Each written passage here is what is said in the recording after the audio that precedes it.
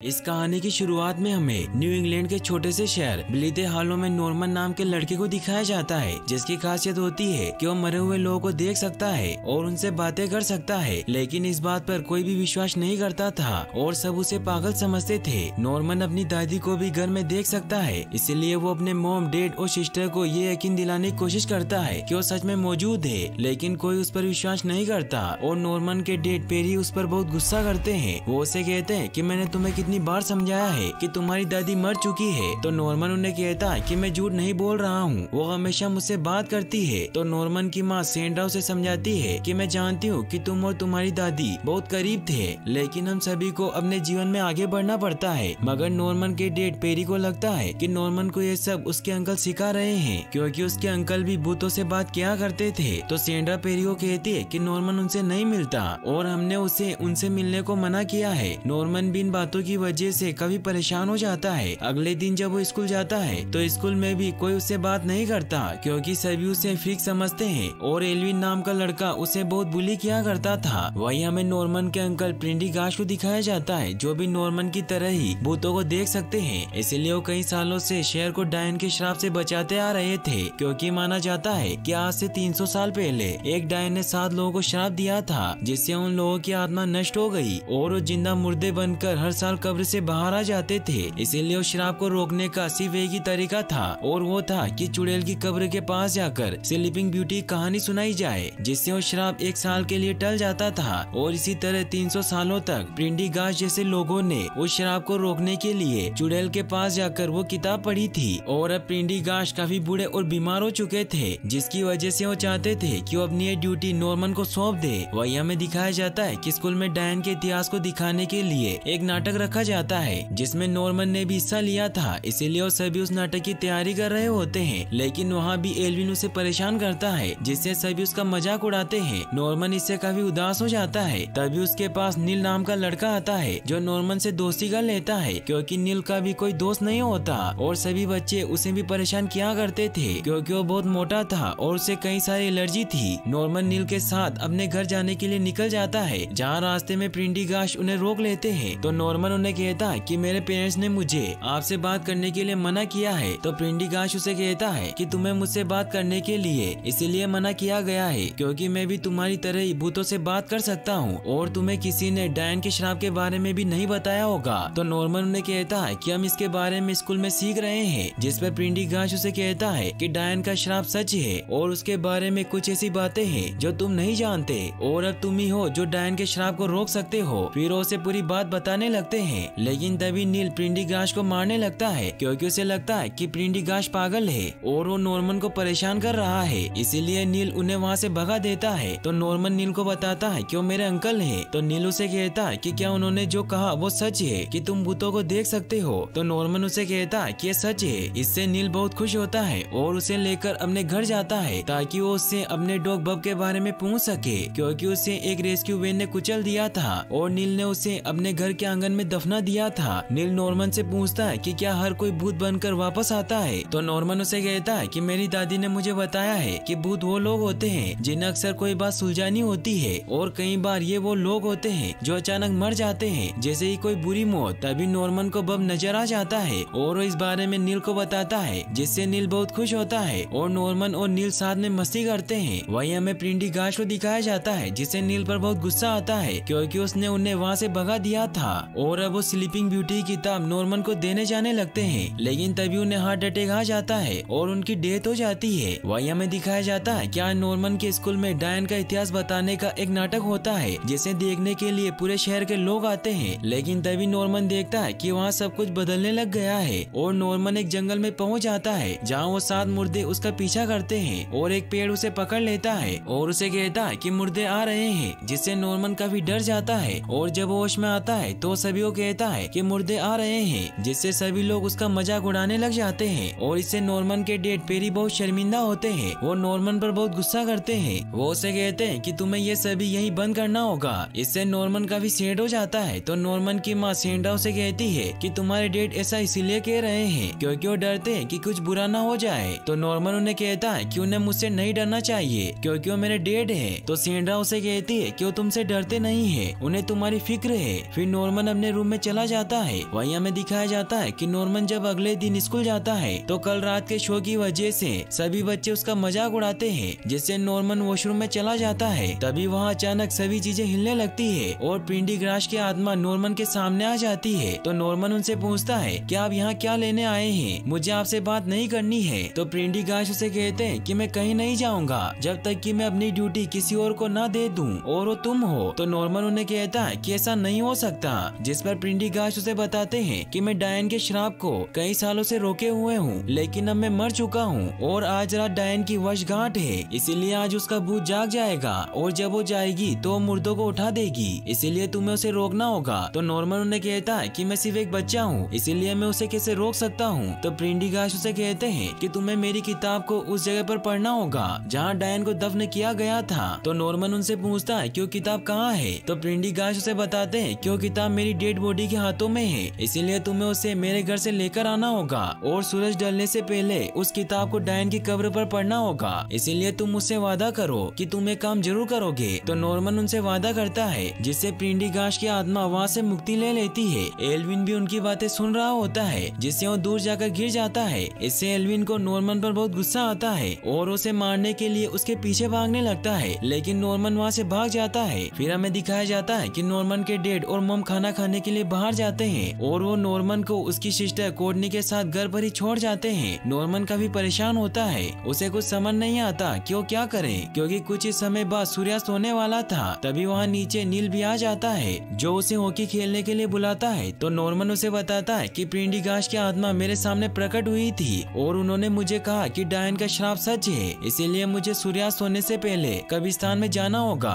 और उसे रोकना होगा। तो नील उसे कहता है कि इसमें बहुत खतरा है। तो नॉर्मन उसे कहता है कि तुम घर जाओ, मैं इस काम को अकेला ही कर सकता हूँ। तो नील भी वहाँ से चला जाता है। तभी नॉर्मन के पास उसकी दादी आ जाती है और उसे कहती है कि मैं अभी तक स्वर्ग में चली गई होती और वहाँ मज़े करती, लेकिन मैं वहाँ नहीं गई। तो नॉर्मन उन्हें कहता है क्या वहाँ क्यों नहीं गई? तो उसकी दादी उसे कहती है कि मैंने वादा किया था कि मैं हमेशा तुम्हारी देखभाल करूँगी और यही मेरी ड्यूटी है। तो नॉर्मल उन्हें कहता है कि मुझे मेरी ड्यूटी निभाने में डर लग रहा है। तो दादी उसे समझाती है कि डरने में कोई बुराई नहीं है। बस तुम्हें इस डर से अपने आप को संभालना चाहिए। यह कहकर वहाँ से चली जाती है। नॉर्मन भी उनकी बात समझ जाता है और अपनी ड्यूटी निभाने के लिए प्रिंडिगाश के घर की तरफ़ निकल जाता है। रास्ते में एलविन अपने दोस्तों के साथ पार्टी कर रहा होता है कि तभी नॉर्मन वहाँ से गुजरता है, जिससे एलविन नीचे गिर जाता है और उसे नॉर्मन पर बहुत गुस्सा आता है। नॉर्मन जब प्रिंडिगाश के घर पर पहुँचता है तो बहुत ही गंदा और टूटा फूटा होता है। नॉर्मन प्रिंडिगाश की डेड बॉडी के पास पहुँच जाता है, जहाँ वो देखता है की उस कहानी की किताब प्रिंडिगाश के हाथों में होती है। नॉर्मन बहुत कोशिश करने के बाद उस किताब को हासिल कर लेता है। फिर वो पुराने कब्रिस्तान पर पहुँचता है, क्योंकि थोड़ी देर बाद सूर्यास्त होने वाला था। नॉर्मन वहाँ कब्रों के पास जाकर उस स्लीपिंग ब्यूटी कहानी को पढ़ने लग जाता है, लेकिन तभी वहाँ एलविन आ जाता है, और उससे वो किताब छीन लेता है। तभी सूर्यास्त हो जाता है, और उस डायन की आत्मा आज़ाद हो जाती है। नॉर्मन और एलविन ये देखकर काफ़ी डर जाते हैं, और उस डायन की आत्मा कब्रिस्तान में उन सात मुर्दों को ज़िंदा कर देती है, जिन्हें उसने श्राप दिया था, जिससे वो मुर्दे अपनी कब्र से निकलकर ज़िंदा हो जाते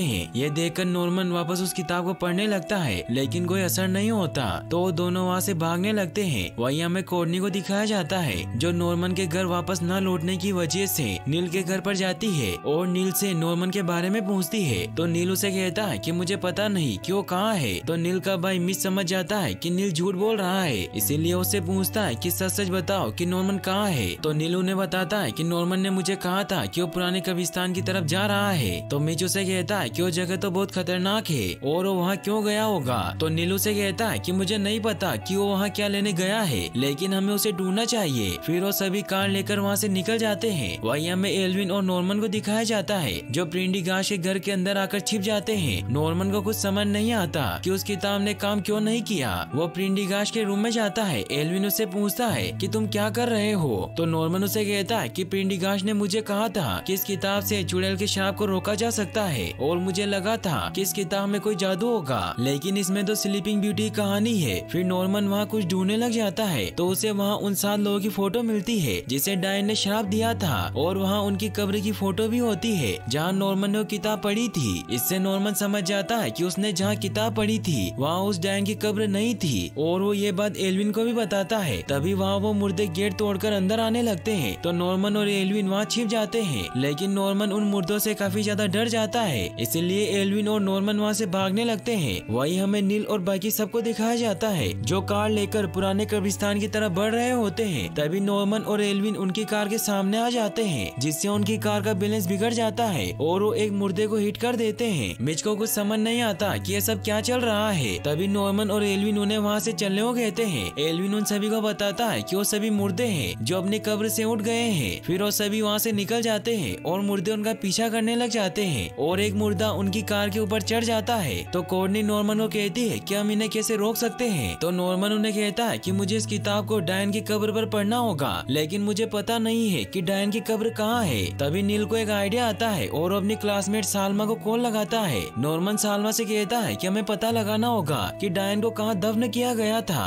क्योंकि जब मैं कब्रिस्तान गया तो वहाँ डायन की कब्र नहीं थी। तो सालमा से बताती है कि, जो लोग जादू टोना करते हैं, उन्हें इंसान नहीं माना जाता है, इसीलिए डायन को कहीं और बिना नाम की कब्र में दफनाया गया होगा। फिर वो गूगल पर चेक करके नॉर्मन को बताती है कि टाउन हॉल में डायन पर मुकदमा चला था। इसीलिए हो सकता है कि वहाँ तुम्हें कोई सबूत मिल जाए। फिर वो सभी टाउन हॉल की तरफ़ निकल जाते हैं। वही हमें दिखाया जाता है कि बाकी के सभी मुर्दे शहर में घूम रहे होते हैं, जिससे लोग उनसे डरकर भागने लगते हैं। लेकिन जब वो मुर्दे शहर में लगी अजीब अजीब चीज़ें देखते हैं तो काफ़ी डर जाते हैं और शहर के सभी लोग मिलकर उन पर अटैक करने लगते हैं। वही नॉर्मन और बाकी सब टाउन हॉल में पहुँच जाते हैं। लेकिन टाउन हॉल लोग होता है, इसीलिए एलविन उस गेट को तोड़ देता है, जिससे वो सभी अंदर चले जाते हैं। लेकिन वो देखते हैं कि वहाँ बहुत सारे रिकॉर्ड रखे होते हैं। ये देखकर वो सभी काफ़ी परेशान हो जाते हैं, क्योंकि उन्हें उन सभी में से डायन के रिकॉर्ड को ढूंढना था, ताकि उन्हें पता चल सके कि डायन को कहाँ दफनाया गया था। वहीं शहर के सभी लोग मुर्दों को मार मार कर उनका बुरा हाल कर देते हैं, जिससे वो सभी मुर्दे वहाँ से भाग जाते हैं और वो टाउन हॉल में पहुँचते हैं। वही सभी लोग भी उनका पीछा करते करते टाउन हॉल तक पहुँच जाते हैं, ताकि उन्हें खत्म कर सके।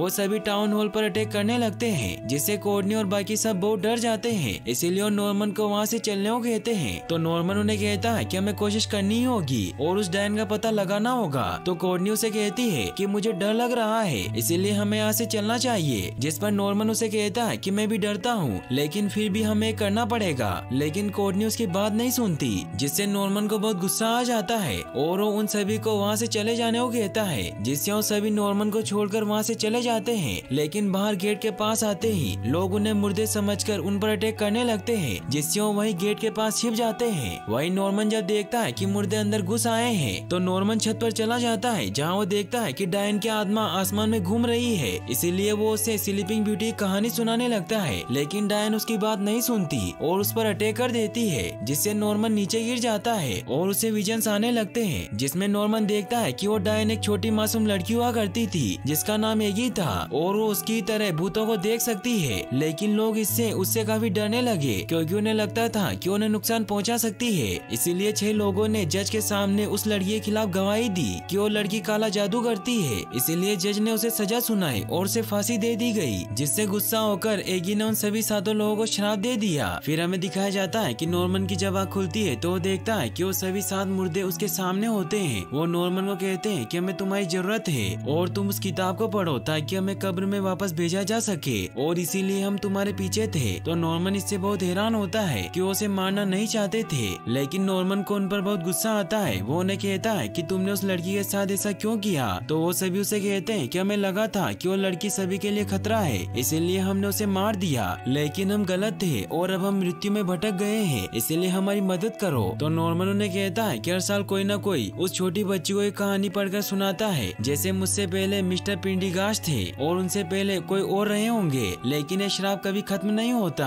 तो वो सभी मुर्दे उससे कहते कि अब तुम क्या करोगे? तो नॉर्मन उन्हें कहता कि मैं कुछ ऐसा करूँगा जो आज तक किसी ने नहीं किया, इसीलिए मुझे उससे बात करनी होगी। फिर नॉर्मन उन सभी मुर्दों और अपने दोस्तों को लेकर टाउन हॉल से बाहर आ जाता है, लेकिन सभी लोग उन मुर्दों से डरकर उन पर अटैक करने लगते हैं। तो नॉर्मन उन सभी को शांत करता है और उन्हें कहता कि मैंने इन मुर्दों से बात की है और ये शराब वो नहीं है जो तुम समझ रहे हो कि मुर्दे आकर तुम्हें मारेंगे। बल्कि ये है कि तुम इन सभी मुर्दों को मारोगे, जैसा इन्होंने उस डायन के साथ किया था। लेकिन कोई भी नॉर्मन की बात नहीं सुनता। तो नॉर्मन की बहन और उसके दोस्त उसका साथ देते हैं और उन सभी को शांत करते हैं। कोडनी उन सभी को कहती है कि मैं जानती हूँ कि ये सब पागलपन है, लेकिन मेरा भाई तुम सभी को डायन के शराब से बचाने की कोशिश कर रहा है। तो सभी लोग उससे पूछते हैं कि क्या ये मुर्दे हमें नुकसान नहीं पहुँचाएँगे? तो नॉर्मन उन्हें कहता है कि इन मुर्दों में से कोई भी आपको नुकसान पहुँचाने की कोशिश नहीं कर रहा है, क्योंकि ये सभी भी कभी न कभी इंसान हुआ करते थे, इसीलिए इन्हें अच्छी समझ होनी चाहिए थी। लेकिन इन्होंने जो किया, उसे माफ़ नहीं किया जा सकता। इसीलिए इन्हें श्राप मिला। और अब तुम सभी लोगों को समझना होगा कि ये सब अब बंद होना चाहिए। तो सभी उसकी बात समझ आते हैं और हथियार नीचे फेंक देते हैं। लेकिन इससे वो डायन बहुत गुस्सा हो जाती है और वहाँ अटैक करने लगती है। तो नॉर्मन अपने पेरेंट्स को लेकर डायन की कब्र की तरफ़ निकल जाता है और साथ में वो उस जज वाले मुर्दे को भी ले लेते हैं, जो उन्हें रास्ता दिखाता है और उन्हें जंगल में ले जाता है, जहाँ डायन को दफनाया गया था। वो जज नॉर्मन को बताता है की तुम्हें उस लड़की से बात करनी होगी। फिर वो सभी उस लड़की कब्र के पास जाने लगते हैं, लेकिन तभी सभी पेड़ हिलने लगते हैं और वो नॉर्मन के अलावा सभी को बाहर ही रोक देते हैं। इसीलिए नॉर्मन सभी को कहता है कि आप सब मेरा यहाँ इंतज़ार कीजिए। फिर नॉर्मन आगे बढ़ने लगता है। वो उस लड़की से कहता है कि मुझे तुमसे बात करनी है। तो एयू से कहती है कि तुम कौन हो? तो नॉर्मन उसे कहता है कि तुम असल में मुझे नहीं जानती, पर मैं तुम्हें जानता हूँ और हम दोनों असल में एक जैसे ही है, इसीलिए मैं जानता हूँ कि तुम कैसा महसूस करती हो। तो एयू से कहती है कि तुम मेरे बारे में कुछ नहीं जानते।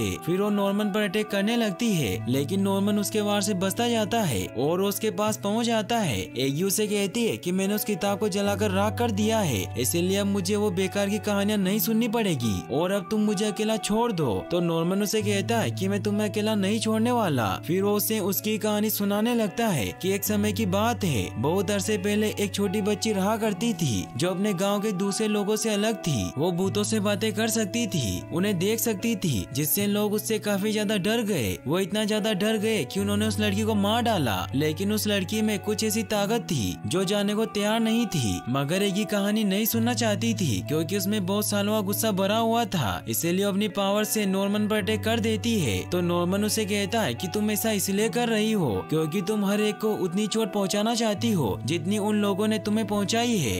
इसीलिए जब भी तुम जागती हो, तुम ये खतरनाक खेल खेलती हो। तो एगी उसे कहती है कि मैं चाहती थी कि सभी लोग देखे कि वो सात लोग कितने बुरे हैं। तो नॉर्मन उसे कहता है कि तुम भी उन्हीं की तरह हो, क्योंकि उन्होंने जो किया, वो ही अब तुम कर रही हो। इसीलिए अब तुम में सिर्फ़ बुराई रह गई है। तो एगी को इससे बहुत बुरा लगने लगता है। वो उसे कहती है की सच नहीं है। तो नॉर्मन उसे कहता है की फिर ये सब बंद करो, क्योंकि तुम्हारे साथ कोई तो ऐसा ज़रूर रहा होगा, जो तुमसे प्यार करता होगा। तभी नॉर्मन उसका हाथ पकड़ लेता है, जिससे वो दोनों समय में पहुँच जाते हैं, जब एगी को उसकी माँ पेड़ के नीचे कहानी सुनाया करती थी। एगी नॉर्मन को बताती है कि मेरी माँ मुझे यहाँ लेकर आया करती थी और वो मुझे कहानियाँ सुनाती थी, जिन सभी की हैप्पी एंडिंग होती थी। लेकिन फिर एक दिन वो भयानक आदमी यहाँ आए और मुझे मेरी माँ से दूर ले गए। तो नॉर्मन उसे कहता है कि कई बार जब लोग डर जाते हैं तो भयंकर बातें करते हैं और मुझे लगता है कि तुम इतनी ज़्यादा डर गई थी कि तुम भूल गई कि तुम कौन थी। और मैं नहीं सोचता कि तुम एक डायन हो, तुम बस एक छोटी बच्ची हो। जिसके पास एक खास वरदान है, और वो सिर्फ़ यही चाहती थी कि लोग उसे समझे। इसीलिए हम दोनों में कोई फ़र्क नहीं है, क्योंकि मैं भी यही चाहता हूँ। तो एगी उसे कहती है कि क्या तुम्हें उन लोगों पर गुस्सा नहीं आता, जो तुम्हें चोट पहुँचाना चाहते है? तो नॉर्मन उसे कहता है की कभी कभी मुझे उन लोगों पर गुस्सा आता है, लेकिन मेरा उन लोगों को चोट पहुँचाने से क्या होगा? मैं भी उन्ही लोगों के जैसा बन जाऊँगा।